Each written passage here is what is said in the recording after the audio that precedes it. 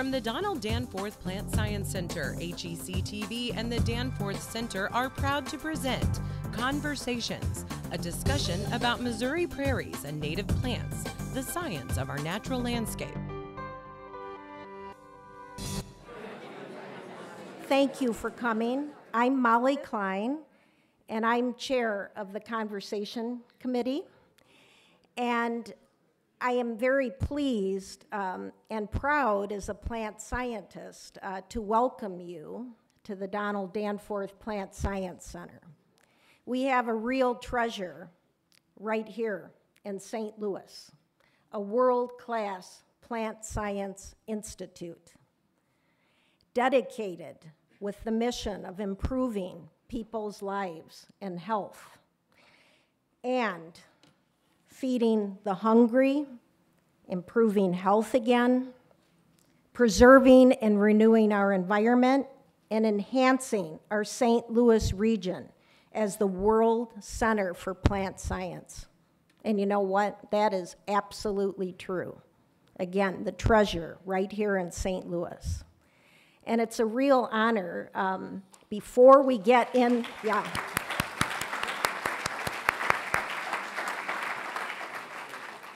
It's a real honor uh, to ask Dr. Uh, Bill Danforth to come to the podium, and he's going to give some remarks before we get into our program uh, topic at hand, and he's the founding chairman of the Plant Science Center.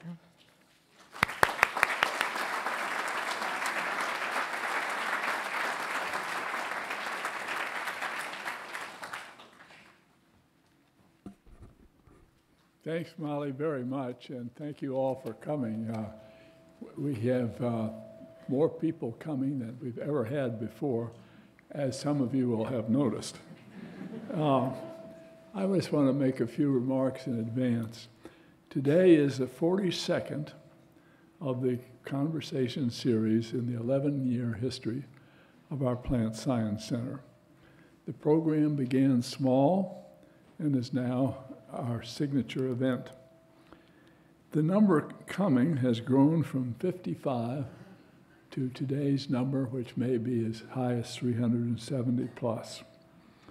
And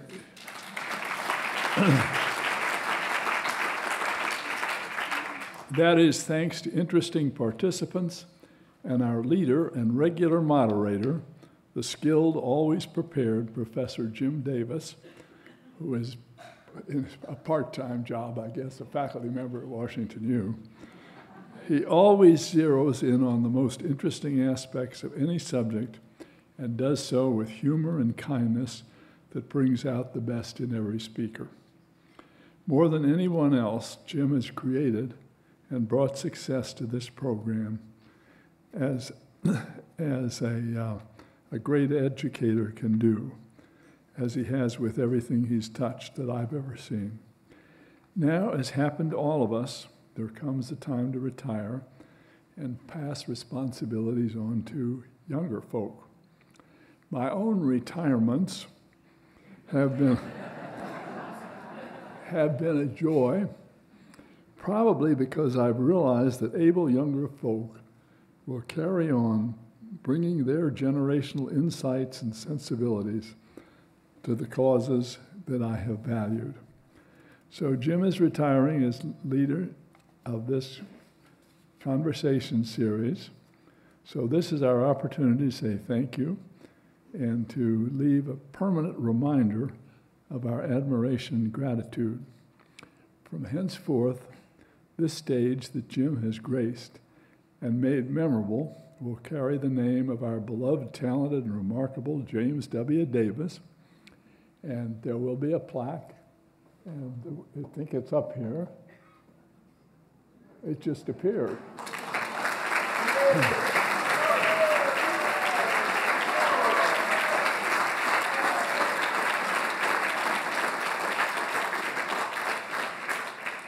the wording on the plaque, the James W. Davis stage, in sincere appreciation for leading the conversation about plant science.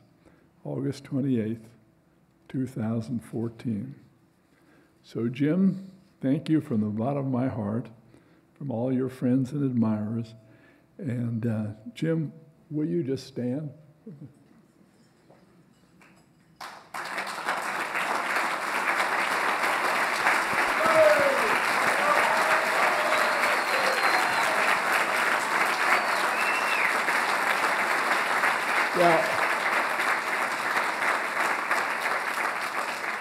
Jim, but before you sit down, I know you'd feel more properly honored if your family were standing with you.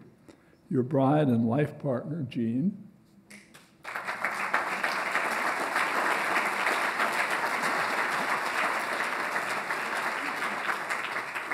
Son Warren, an assistant dean at Washington University. And his wife, Reverend Emily Davis.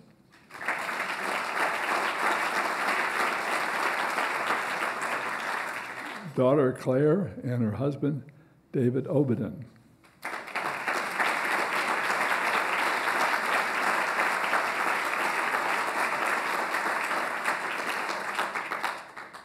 Thank you so much. And uh, uh, we're just a little way of expressing our appreciation. Well, I'm delighted. Thank you so much. I always thought I was a professor. Now I know I'm an actor.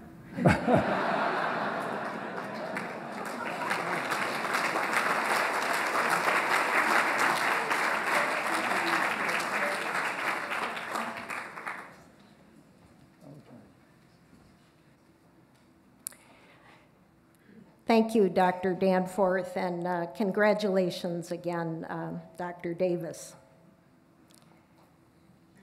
Well, tonight we're going to talk about Missouri prairies and native plants, the science of our natural landscape.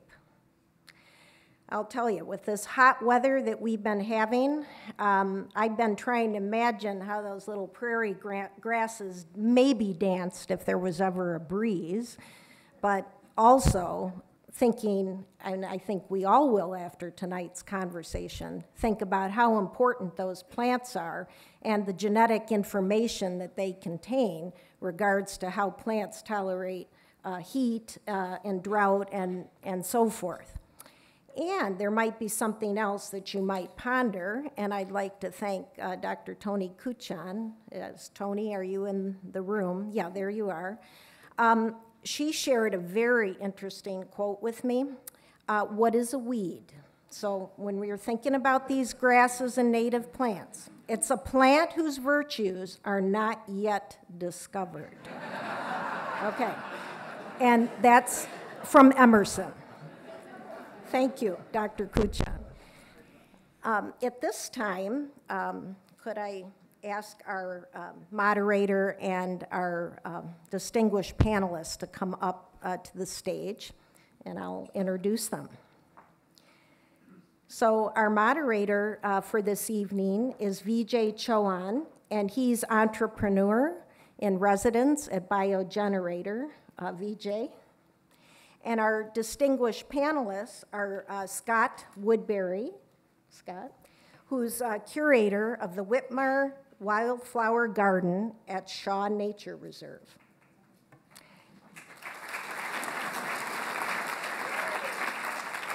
And Dr. Toby Kellogg, who's a member of the Donald Danforth Plant Science Center.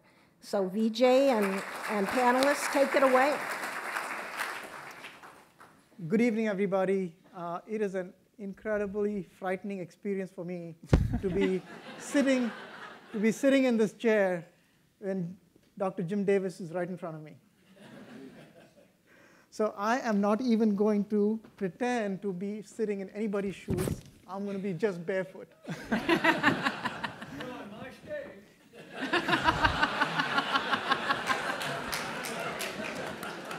I'll keep my shoes on. And I'm going to work on building my own shoes to fill. So we have a very exciting talk tonight. Uh, I had an opportunity to spend time with uh, Scott and Toby before the talk, and to hear them go through what they are doing, their life's passion, their work. It was just a blur, And when I sat down, I said, you know, I think I know what the summary of all of this is. It's about grass and weeds and birds and bees and plant science. I think those are ingredients for a fantastic conversation, and that's what we're going to be doing tonight. So we have, don't have that much time, so let's get to it. And I want to start with you, Scott.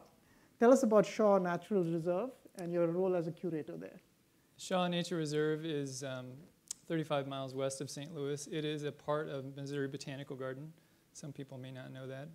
Uh, we have 2,400 acres of uh, reconstructed and restored prairie and woodland and savanna and wetlands, uh, 14 miles of hiking trails, and a lovely garden um, that was a gift uh, by Blanton and Peg Whitmire to the community. So I welcome you all to come out if you can to see this beautiful garden. Uh, even at 100 degrees, it's looking spectacular right now. Um, and so my, uh, my job has been, uh, since 1991, to develop the, the Whitmire Wildflower Garden and to bring it to the community, uh, to provide educational opportunities in the garden, in this natural classroom, for people to come and enjoy and to learn about native plants and native landscaping. Well, that's just the teaser. You'll, what, you'll learn a lot more about his fascinating work in a second. So, Toby, I want to ask you tell us a little bit about your research interests in grass and cereal crops. So, I, I study grasses in general. That if basically you think of Scott looking at the landscape, I look at the individual plants. But I think of them as a whole group. That is, we think about corn and sorghum and the crop plants that we all eat and as, as being nutritious, but we don't often think that they're actually part of a, a large group of about 12,000 species of grass. And the really important ones ecologically, of course, are the ones of the prairie, and that's what we're going to be talking about tonight. They are all very, very closely related. The genes are very similar, and that means that whatever we learn about the crops, we can apply to the prairie grasses. And whatever we learn about the prairie grasses, we can apply to the crops.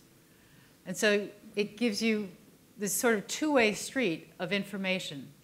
The genetics is so similar that each one can build on, on the other. So I, I study how the plants produce seeds. Um, so the seeds, of course, come from flowers. So I study a lot about how many flowers a plant produces and what are the genes that control that. I study photosynthesis, which if you think about seeds as of course being carbohydrates, the carbo part of that is carbon, right, like carbon dioxide out of the air. So I'm looking at how that carbon gets into the seed. Um, and studying that for improving the ecological success of the prairie grasses and then also the yield potential in crops so that the two work together. Thank you. So behind us, we have a spectacular illustration. And Scott, can you tell us what this is? And what's so special about it? Well, this is a, an artist uh, rendering of what the tallgrass uh, landscape looked like um, at the time of early settlement. Um, it was um, drawn by Paul Nelson, um, and uh, it appears in the Tallgrass Restoration Handbook, which is a, a terrific volume if you want to learn about uh, restoring tallgrass prairies and everything that's involved uh, from start to finish. It's a collaboration of uh, minds and a really great uh, resource. Um, but because nobody was photographing the tall grass landscape in the early 1800s, uh, we're left with imagination of what it looked like that basically is drawn from some of the early settlers, some of the early um, people who studied the landscape. And I just wanted to read a couple um, passages from two Henrys Henry Shaw, who was the founder of Missouri Botanical Garden, and Henry Schoolcraft, who was a geologist that walked across Missouri down into Arkansas, starting from Potosi, Missouri, which is about an hour and a half southwest uh, of here, um, and crossed the Ozark Territory down into, uh, into Arkansas. So I'll start with Henry Schoolcraft. Um, and imagine today the Mark Twain National Forest being this completely closed canopy. I'm sure you've driven through it, you've seen uh, what it looks like today. Um, in 1818, uh, Schoolcraft wrote, For the first four miles lay across a succession of sterile ridges, thinly covered with oaks. When we suddenly descended into the valley of the Meramec, having extensive prairies along its bank, one of the greatest inconveniences we experience, having been compelled to stop in an open prairie, arises from the difficulty of finding wood and water. Pretty hard to believe.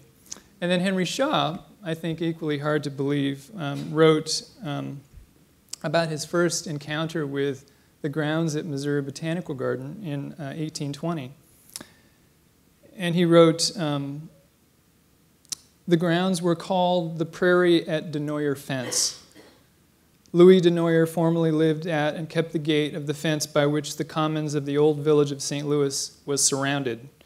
For a distance of nearly two miles, from where Tower Grove Park is now laid out to Taylorwick Station, no trees were growing, except two or three venerable cottonwoods in the low ground. The prairie was grown over with tall, natural prairie grass.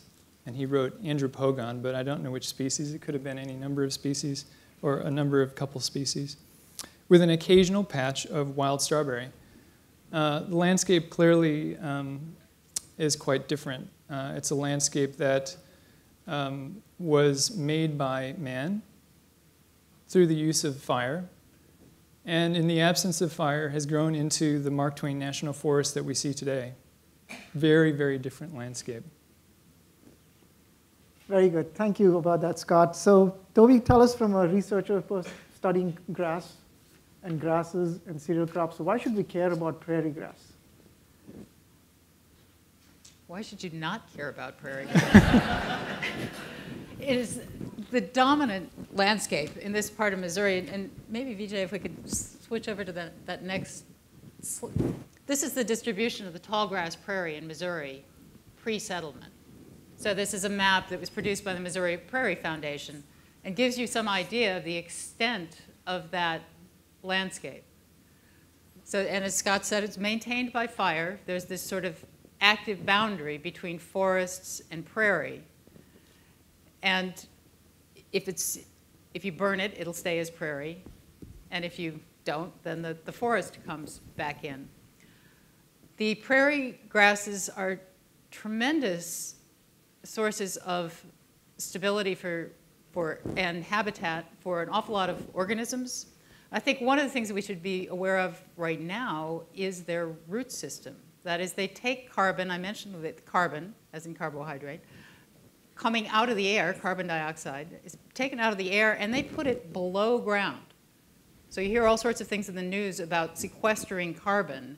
Well, the prairie plants have been doing that for millions of years. We don't need fancy technical things to pump the carbon dioxide below ground. They're just doing it all the time. They have phenomenal roots. I don't know if you noticed the, the grasses that were sitting out there in the atrium when you, when you came in.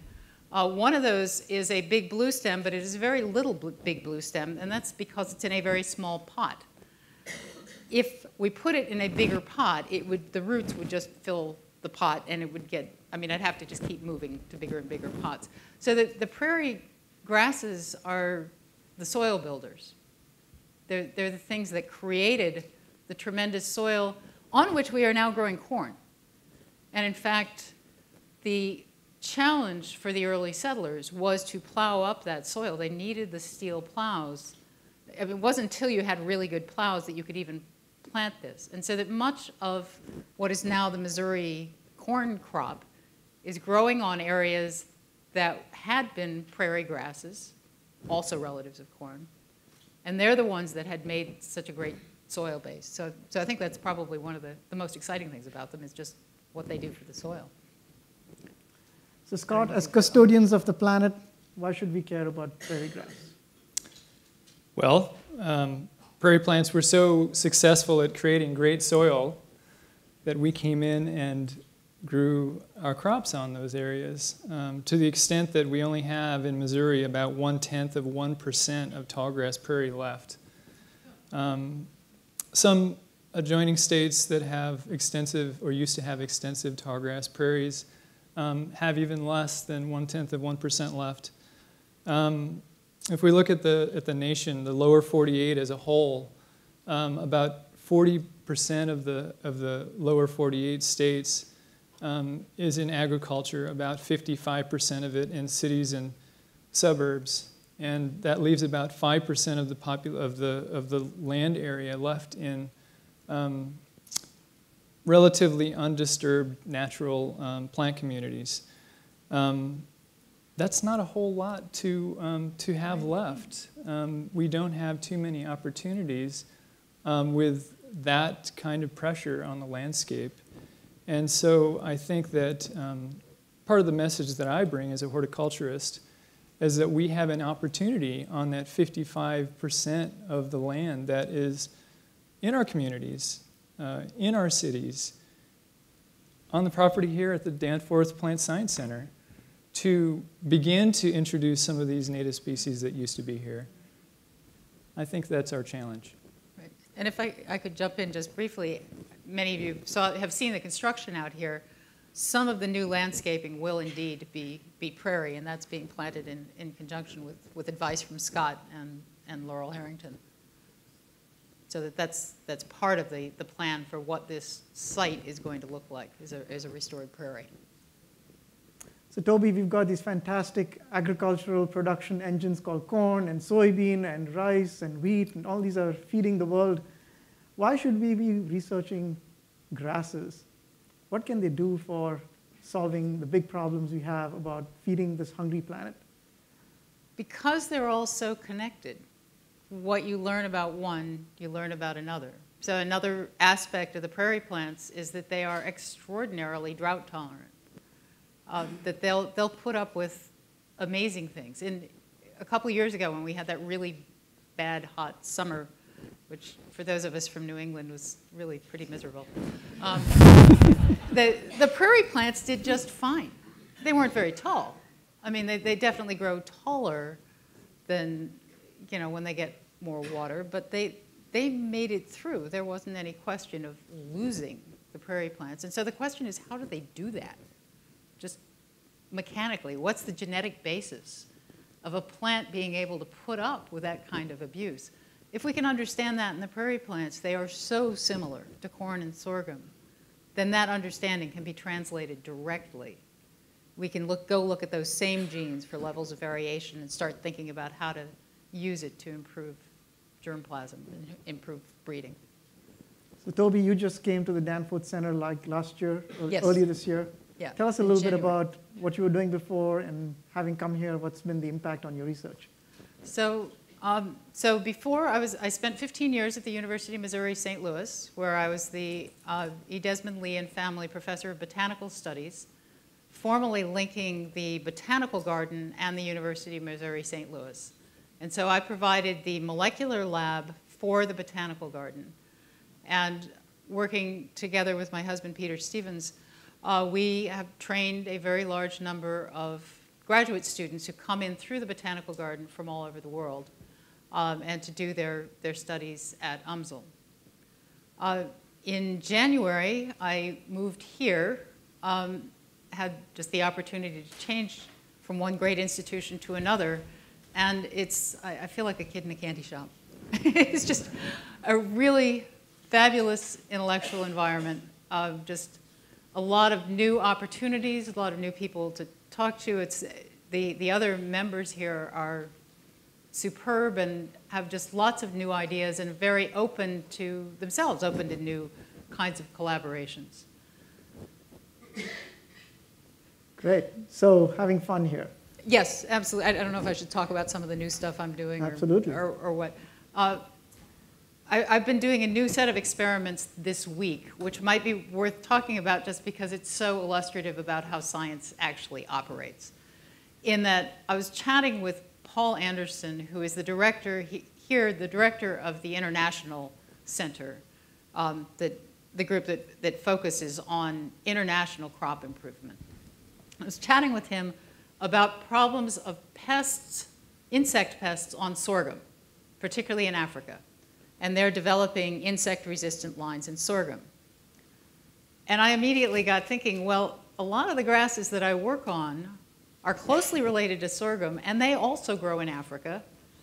And they also get eaten by insects, but they're not wiped out, and that means they must be resistant.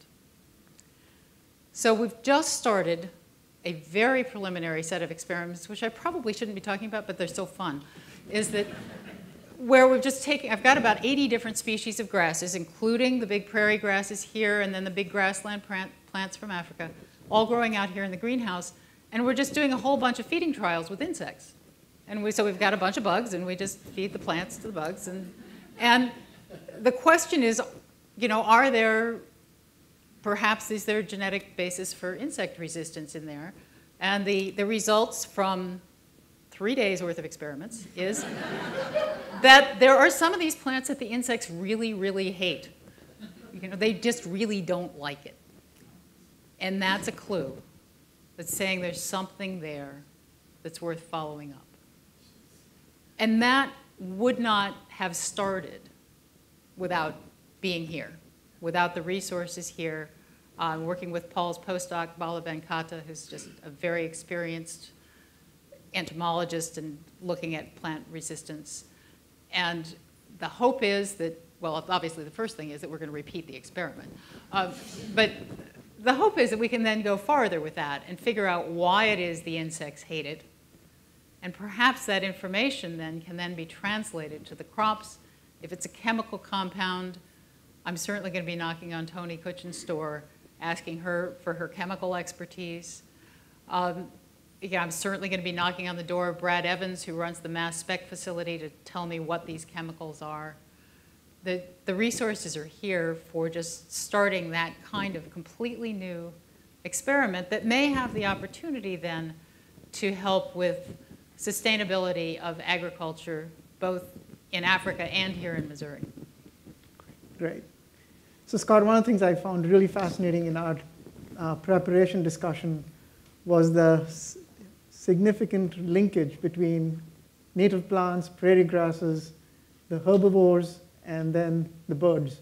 Can you explain to the audience what that precious ecosystem is and what's at risk today in the way we live and develop our communities? Sure.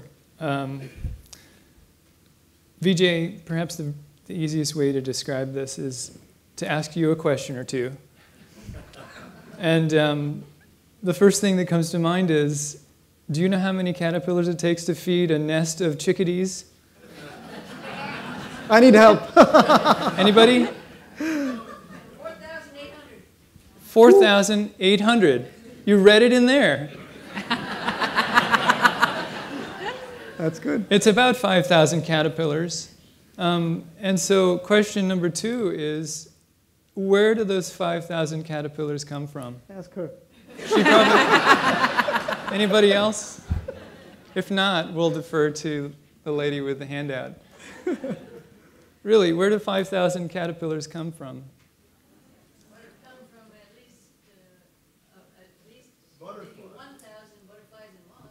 Butterflies and moths. The, the, the, the insect group, um, the Lepidoptera, the butterflies and the moths, are the primary um, food source for uh, chickadees. This was a, a, an informal study that um, author Doug Tallamy did out his kitchen window. And he was observing chickadees feeding their young and saw that they were feeding them about 300 caterpillars a day. And it had amounted to over 5,000 caterpillars over the life of that clutch. And um, so when I think about the habitat that we um, that is missing, um, the very small amount of native plant communities that we have um, in our lives, um, and I think about how we are as a society going to feed a chickadee, tens of thousands of chickadees, and all of the species that seem to be in decline.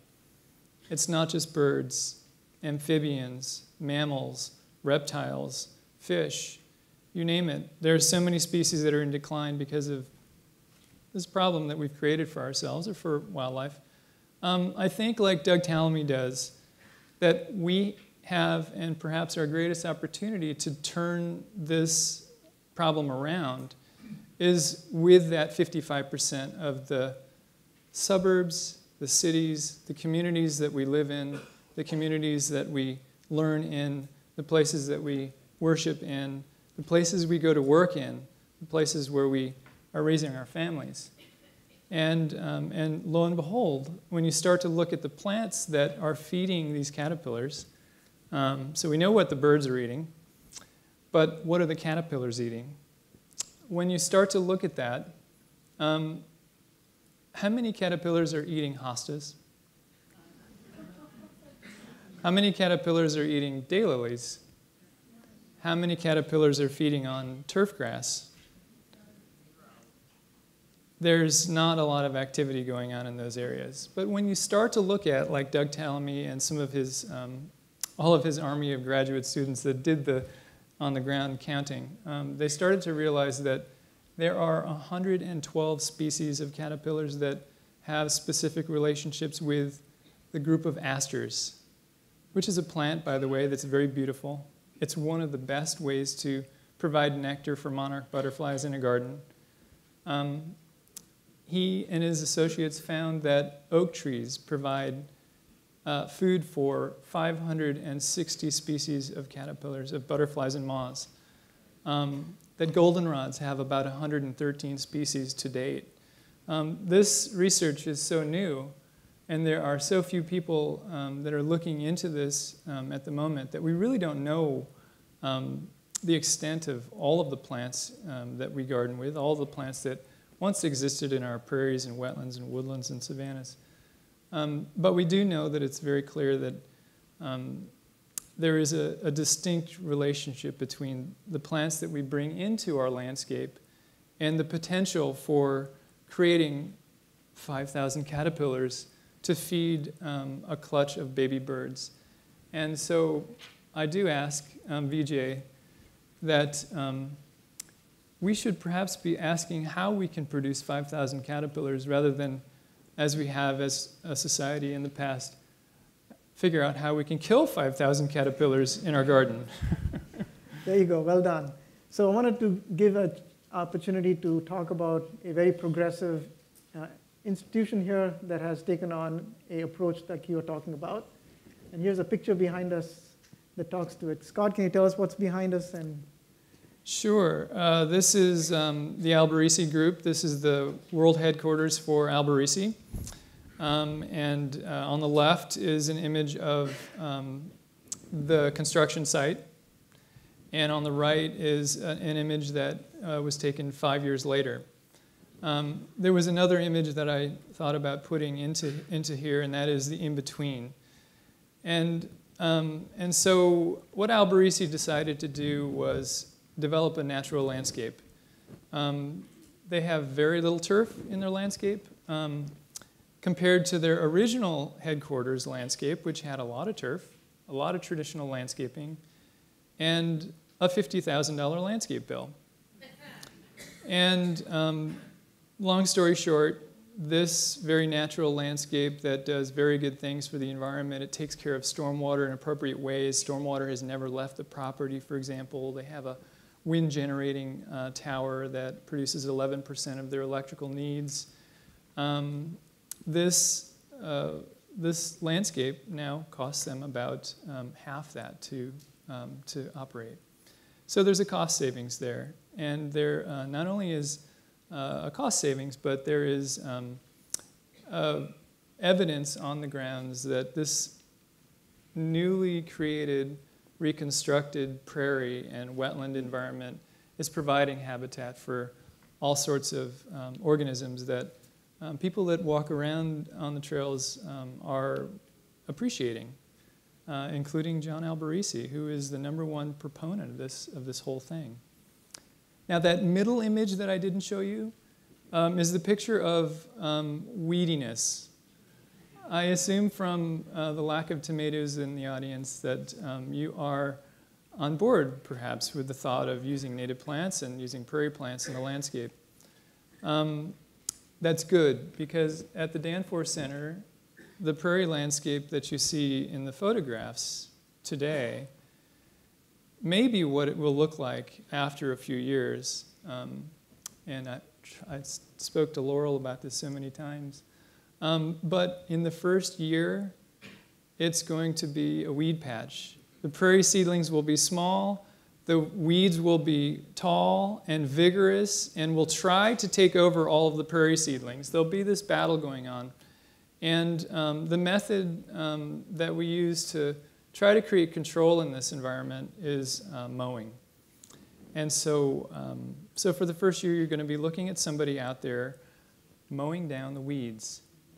And for the second year, that may be what, you looking, that you're looking at as well. But hopefully by year three, which is normally the case, um, the prairie plants will be big enough, they'll have huge root systems um, that will be aggressive enough to push out any of the weed plants um, that uh, existed in year one and year two. So perception is um, important, patience is important. Bringing people along um, who may not understand the process is very important. And so um, your PR department is going to be very busy over the next few years. and they will begin to breathe easy. I guarantee those of you in the PR department are going to begin to breathe easy after year three. So Scott, you've already started to get some converts here, and people are asking, where can I get prairie grass seeds to change our backyard? I think this is what you want to hear. Sure. Uh, prairie seeds for the backyard. Um, well, could go in the front yard too, I suppose. it's a but start. Be careful if you do that. Um, prairie seeds are available at a wide array of nurseries throughout the Midwest. Uh, if you live in Missouri, um, there are some great options for buying local ecotype prairie seeds. Um, and there's, uh, you know, I'll probably miss a few, but the ones that are in our region and the St. Louis region include um, Pure Air Native Seeds, which is a part of DJM Ecological Services, um, Missouri Wildflowers Nursery. There's a small outfit, a retired math teacher over in Illinois who runs Bluestem Prairie Farm, uh, or sorry, um, uh, uh, yeah, Bluestem Prairie Farm, Bluestem Prairie, Prairie Nursery, and he sells little packets of, uh, of things. Or you could come out to Shaw Nature Reserve because we sell small packets of prairie seeds as well. And um, I will put a plug into our Shaw Wildflower Market, which is September 5th. It's coming right up. And uh, um, Pure Air Native Seeds will be selling seeds um, at our Shaw Wildflower Market Friday, September 5th uh, from 4 to 7.30. Very good. So Toby, people want to know, where else besides the United States does prairie grass grow elsewhere in the world? Are there any dominant regions? So if it's not called prairie, but they're very similar groups of plants. If you've watched Wild Kingdom, right, the Serengeti, the big African grasslands are dominated by many of the same genera. They're different species, but the, the genera are the same. So it'll be Andropogon, Schizachyrium, for those of you who are familiar with those, are all over the, the main African grasslands are also the same group of species, and then Australian grasslands. Some parts of Brazil, um, the, the Cerrado in Brazil, is also dominated, dominated by the same group. So the name of the vegetation is different. The name is local. It's prairie refers usually just to North America, but if you think about just the, the whole constellation of species, it's Africa, Australia, and South America. So folks want to know, uh, the, they read an article in the Post-Dispatch about the declining population of the monarch butterflies, and they wondered if uh, landscape devoted to prairie grass would help in any way. Absolutely. Um, I was tempted for many years to develop a butterfly garden um, at the Whitmire Garden years ago, and I always looked at all of our native landscapes, the prairie, the woodland, um, the wetland, um, as butterfly gardens themselves. They're full of native species that um, support native uh, Lepidoptera species. And so um, tallgrass prairie is a perfect example of a butterfly garden. And um, not only will this landscape have milkweed plants that have a direct correlation to monarch butterflies. Monarchs lay their eggs on milkweed plants, and that is a part of their life cycle. Um, but all of the other species in the prairie will work to, um, to support the monarch butterfly. They'll be getting nectar off of goldenrods and asters at a very critical time when they're beginning their migration back down to a very remote area in, um, near Mexico City. How they know how to get to Mexico City, I'll never know because they will have just hatched out within a month or two prior. So uh, it's one of the great mysteries of the world. Um, but uh, these plants in this landscape will benefit monarchs and other butterfly and moth species. So Toby, if things go really, really great in your research program, what is sort of your biggest hope and hope, biggest dream for what will come out of it? Oh, wow. um, I would love to be able to find some genetic pathway in prairie grasses that turns out to be present but perhaps not active in the crops. Where we could point to it and say, let's find a way to activate that pathway and it'll either improve drought tolerance or improve yield, or maybe both. I mean, since I'm fantasizing here. Um, so that, the, that to be able to, to do that full translation from the wild plant that is so good at fixing carbon and withstanding drought and putting up with insects, to translate that into a crop where it can also benefit humanity. I think that would be fabulous. Great. And Scott, if you could change our view of lawn, these beautifully manicured lawns that have a huge negative environmental impact, and look at that as not as attractive as prairie grass, how would you go about doing it? Well, I wouldn't start by removing all of it. that ends in disaster most often. Um, but I might consider um, a reduction of turf grass. Um, maybe start with a 20% reduction of turf grass. Uh, we have 40 million acres of turf grass in America, uh, which is larger than any single crop. It's larger than all of the national parks combined. Um, it's a trend that we need to start turning around. Um, and tallgrass prairies are probably one of um, the best ways to, to do that, right, Chan? Um, in the front yard, sometimes it's appropriate. Um, in the backyard, it uh, may be appropriate. Um, we have to do it in ways that uh, work into our communities because if you were to develop a tallgrass prairie in your entire front yard, you would have somebody knocking on your door very quickly. um, writing you a ticket. Um, but if, but there are ways to develop a landscape um, using tallgrass plants, um, having pathways, having benches, encouraging ways for people to interact with these landscapes.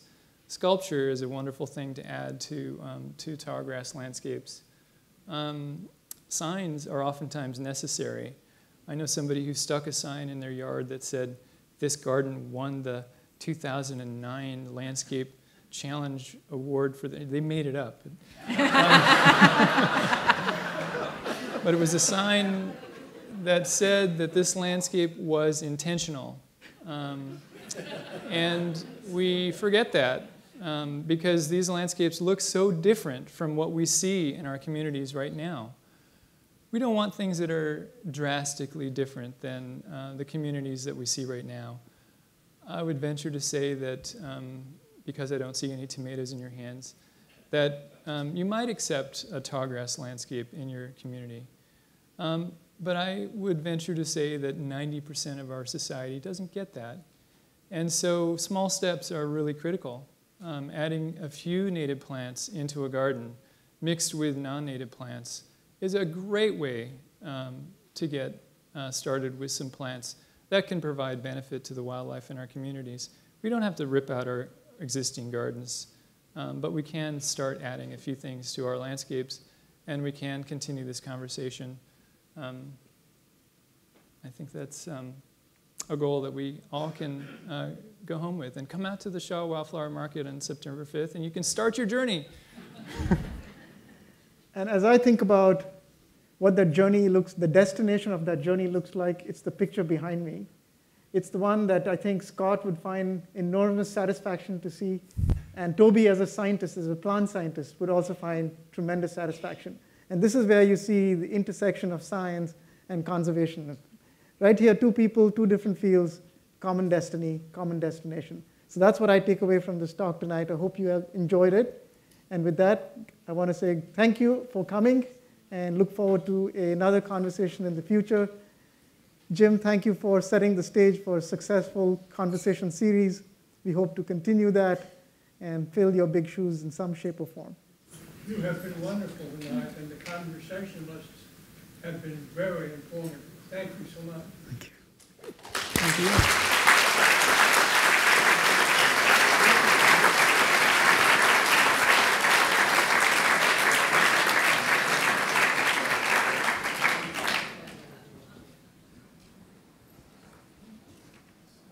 I'd just like to thank VJ and the panel for a wonderful presentation, wonderful discussion.